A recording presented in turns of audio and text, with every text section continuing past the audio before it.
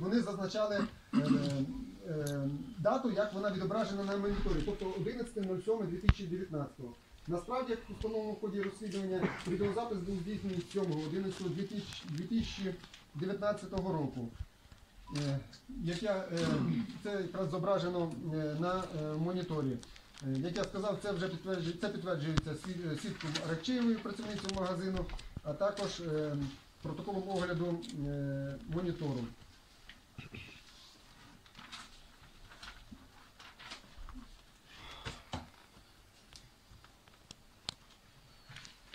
Крім того, е, в ході досудового розслідування, е, в ході вірніше е, судових розглядів було допитано 5 свідків, які в судове засідання запросила сторона захисту.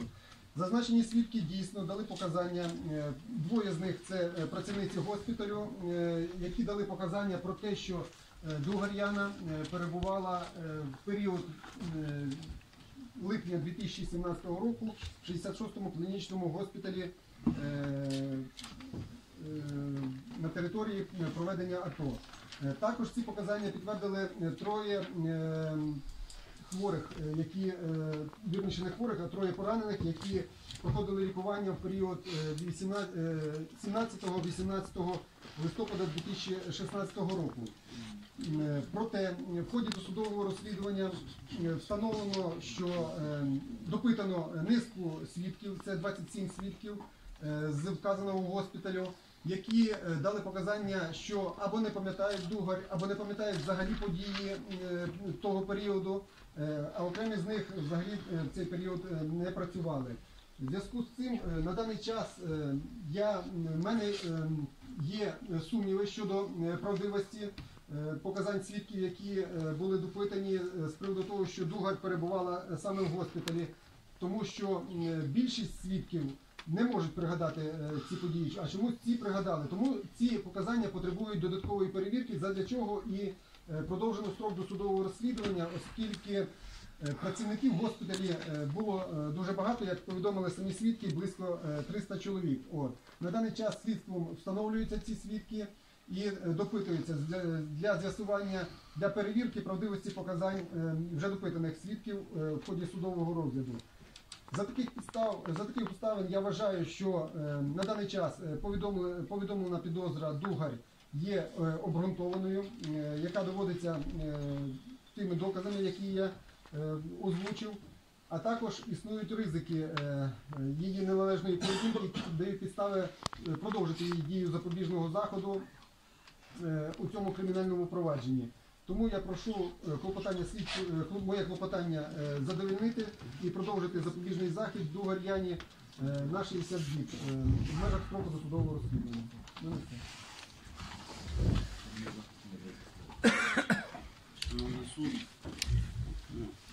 звичайно, заперечую щодо задоволення даного клопотання. Я хотів почати з необґрунтованості підозри ризиків і обрання більш нового запобіжного заходу, але вимушений почати з того, прокоментувати, скажімо так, про те, що тільки що говорив прокурор, тому що дещо із того, що міститься в матеріалах клопотання, які надано нам, і те, про що зараз говорив прокурор, ну, воно суттєво відрізняється. Можливо, суду просто надано інше клопотання, а стороні захист, захист, захисту трошки інше.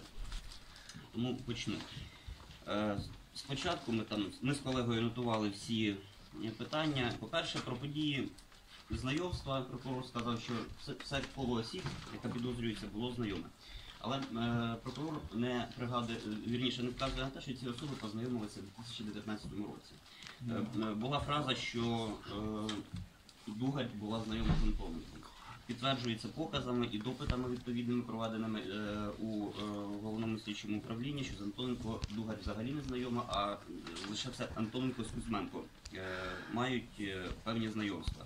Далі коментуючи, що Антоненко мешкав неподалік від помешкання Шеремета, чомусь у нас виникає роль розвідниці. То навіщо нам роль розвідниці, яка перебуває в зоні АТО, яка буде приїжджати з зони АТО слідкувати за Шереметом, коли у нас Антоненко проживає і знає, де, де вона постійно перебуває. Е, далі. Е, щодо е, відео з магазину. Хотів би. Е, В нас е, трошки наперед забіжу. Е, Експертизу, на яку посилається прокуратура, е, і яка є їх основним доводом, вказано дослівно, що особа 1 схожа на особу 2. Я звертаю увагу, що у нас взагалі не, не ідентифіковано, хто така особа 1, хто така особа 2, з якою порівнювати. Е, Клопотання не містить навіть протоколу впізнання особи по фотокартці жодного. Тобто ідентифікувати навіть, що там, якщо то в магазині дійсно дуги, як їх ідентифікувати просто на око, ну багато є схожих людей і е, навіть повторююся, немає протоколу впізнання. Про мету мотиві зв'язки, ну ми взагалі не почули жодного слова. Чому взагалі там опинилася Дугар, е, які в неї були, яка була мета вчинення цього злочину, який мотив? Про зв'язки я вже казав між підозрюваними в дан- в даній справі. Е, Щодо прокурор сказав, існує ризик з даного, е, вірніше, закордонного паспорту Яни Дугаль. Ну, е, ми знаємо, що коли обиралася міра запобіжного заходу, перша обов'язком, який було покладено на Дугаль, це було здати закордонний паспорт. Відповідно, прокурор, я думаю, має про це знати. Було виконано відповідно вимогу суду, і паспорт було здано на зберігання. Повторюся знову ж таки, що про всі події, на які в подальшому посилається прокурор, відбувалися в 2019 році. Жодного згадування про 16 рік, про якісь там е, е, самовільні, начебто залишення частини, я ще до них повернуся. Це все події 2019 року. Е, Ну, хотів би також звернути увагу на, на той ризик щодо шлюбу Дугар з іноземцем, який вона начебто приховала. Ну, шлюб це обставини особистого життя і е, приховувати його знову ж таки, ну чи, чи не, не приховувати, а розповідати чи не розповідати про нього, це е, ну, взагалі конституційне право кожної особи, і вона не повинна жодним чином е, брати це як е, ризик. Е, Окрім того, прокурор читав скільки коли разів е, куди ви- виїжджав її чоловік, і вона за кордон. То жодного згадування, що вона виїжджала до свого чоловіка е, за місцем його проживання в іншу країну, жодного згадування такого немає за весь період їхнього шлюбу. Е, прокурор посилається, що матеріали клопотання містять інформацію від командира Дугарь про її самовільне залишення е, частини на протязі 22 днів. Проте уважно ще раз, тільки що передивившись мат- матеріали даного клопотання, немає у нас ні довідки певної, що вона там залишала від, командира, нічого.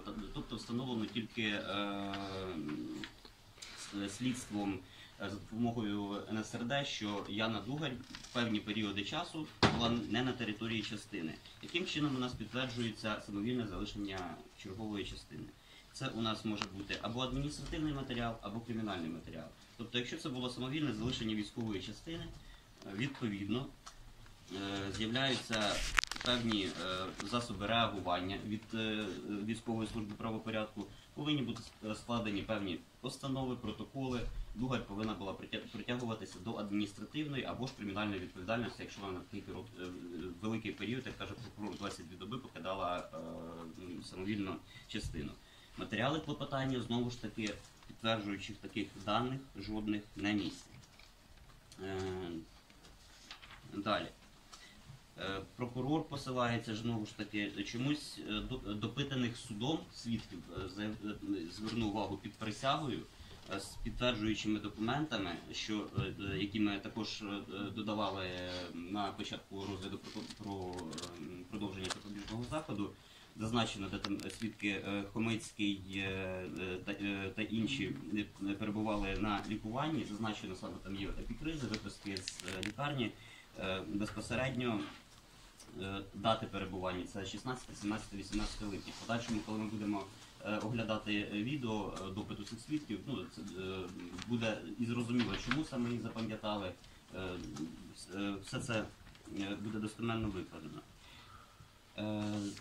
Прокурор посил- посилається на те, що було допитано ну, 26, е, не згадую, начебто е, чи 27 е, свідків, які працювали, начебто у 2016 році у е, 66-му військовому госпіталі, які або пам'ятають, або не пам'ятають, або взагалі не працювали. Ну мені цікаво взагалі навіщо допитувати людей, які там взагалі не працювали в 2016 році для підтвердження цих даних. Ну, це таке риторичне питання більше.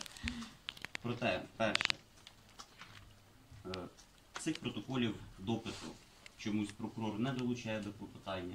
Тобто вони у нас існують десь, ну, чи е, якісь протоколи допиту долучалися, е, коли продовжувалася міра запобіжного заходу. Е, Вірніше, коли ми просили про зміну запобіжного заходу, ну я думаю, що е, тим фактором, що прокурор долучив е, саме ті протоколи, певною мірою зіграли те, що запобіжний захід дійсно змінили, тому що свідки підтверджували дані питання. Тут дякуємо стороні обвинувачення в цьому плані. І таким чином, знову ж таки, прокурор посилається на неіснуючі в матеріалах клопотання взагалі документи. Тепер це просто поки що прокоментував те, що сторона обвинувачення нам зачитувала. Тепер хотів би коротко пройтися по обґрунтованості підозри. Основною е, Основним посиланням і основним доказом обґрунтованості підозри є е, висновок експертів за результатами проведеної комплексної комісійної експертизи з ідентифікації особи за ознаками зовнішності від 11 грудня 2019 року. І от із неї певні е, цитати хотілося б зачитати, щоб бути вислівним. Е, Зокрема, зазначається що наявні у зображеннях особи номер один ознаки зовнішності, зокрема ознаки обличчя, не дають можливості для ідентифікації особи номер один та особи 2 як одну і ту ж особу в експертизі. Наступна фраза. Трохи далі. Разом тим, криміналістичний аналіз ходи забезпечує достатні докази на підтвердження того, що особа 1 в досліджуваних кадрах відеоспостереження є особою номер 2 в еталонних кадрах відеоспостереження.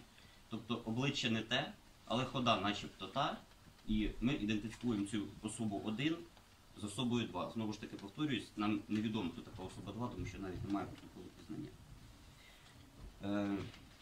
На експертизі потім пізніше колега мій зупиниться більш детально, е, посилаючи вже на, на рецензію. Е, Подальше, окрім того, про що б хотілося зазначити, е, як ми всі професійні юристи знаємо, як розслідуються кримінальні провадження, особливо такі гучні, Е, і на чому встановлюються зв'язки підозрюваних в певній там організованій, скажімо, групі, як вказано, що там чітко розподілені ролі, законспіровані всі, це телефонні з'єднання. Ми завжди знаємо, що отримуються тимчасові доступи, береться триангуляція, отримується е, інформація з базових станцій, де дехто перебував е, в який момент е, події злочину. Як було ну, із, ЗМІ і в 16-му році заявлялося, що проведено там отримано саме до речі в Печерському районному суді тисячі тимчасових доступів до базових станцій по справі Шеремета. Під час сумнозвісного брифінгу заявлялося, що е, перевірено там мільйони телефонних з'єднань, все встановлено, всіх допитано. В матеріалах клопотання, і коли обирався запобіжний захід, і в підозрі, і зараз у продовженні запобіжного заходу немає жодного, повторююсь, жодного підтвердження зв'язку телефонів, якими користувалися е, е, підозрювані особи в даній справі, якихось пов'язані розмови 16-го року, повторююсь. За 19-й рік там із контексту є певні вирвані фрази, і то не, з фігурантами е, даного кримінального провадження. Е, Тобто е, дані, які об'єктивно встановлювали причетність певної особи, не встановлено взагалі і до матеріалів клопотання не додано. Тепер хотів би зазначити, трошки перейти до ризиків. Чи- Відповідно до ризиків у нас е, вважає прокурор, що якщо е, Яна має е, е, ID-карту, вона може е, виїхати до іншої на територію іншої держави. Ну, е, ваша честь, е, в період з 13 грудня по е, 24 січня, коли було змінено запобіжний захід Дугар, е, вона е, була без засобу електронного контролю. Тобто, ну, по суті, е, вона могла скористатися, е, я думаю, своїм таким ну, неправом, а, звісно, це було порушення покладених на неї обов'язків, там покинути територію України чи ще кудись виїхати, бо по id карті можна виїхати там як, як в Грузію, так і в Туреччину, тобто він е, є біо- біометричний. Е, тобто чомусь прокурор це вважає ризиком. Посилається прокурор на наявність даних про неодноразове самовільне залишення місця несення служби. Ну про це ми вже говорили, жодного доказу про це немає. Що е, Дугарь самовільно залишала е, місце свого перебування е, у військовій частині. Прокурор посилався знову ж таки на те, що відповідно до матеріалів НСРД Дугать повідомляла подрузі, що в місті Львові зупинив патруль та поцікавився, чи не є вона військовослужбовцем. Ну, коли людину у е, цивільній формі не військовій зупиняє ВСП, то вона і відповідати буде, що хлопці, ну ви не тих перевіряєте, мабуть. Я в цивільній формі і не повинна особа зазначати про те, є вона військовослужбовцем чи ні. Е, знищити, зазначу ще на цьому, один із ризиків сховати або спотворити будь-яку з речей чи документів, які мають істотне значення для встановлення справи. Е, Тут е, е, зазначає, що невідомо досі, згідно доля сумки сапера, двох саперної справи і семи мобільних криміналів. Це ми продемонструємо на відео і, до речі, цікаво, якщо в даній справі, я, думаю, що допитувався вже безпосередньо особа, про яку ми будемо зазначати, де поділися ці речі і чиї вони були, ці саперні, е, саперна сумка і дві книги. Е, Також один із ризиків незаконно впливати на потерпілих, свідків, інших підозрюваних, експертів, спеціалістів у цьому кримінальному провадженні. Е, Зазначено, що злочин чинено у складі організованої групи з чітким розподілом ролей. Ну, знову ж таки, з матеріалів клопотання ми не побачили жодного чіткого розподілення, як ці особи взагалі е, між собою спілкувалися і який мотив взагалі і мета вчинення даного злочину. Також наступний ризик це перешкоджати кримінальному провадженню іншим, чином. Е, У зв'язку з чим орган ну, досудового розслідування не вдалося одночасно і в повній мірі виявити та вилучити речі і документи, які можуть бути використані як докази даному кримінальному провадженні. Ну, е, тут у мене е, викликає подив те, що з моменту вчинення злочину пройшло вже більше трьох з половиною років, і орган досудового розслідування за три з половиною роки не зміг е, встановити всі обставини події, відшукати всі докази. А і зараз, е, коли минуло три з половиною роки, говорить про те, що вони можуть бути знищені.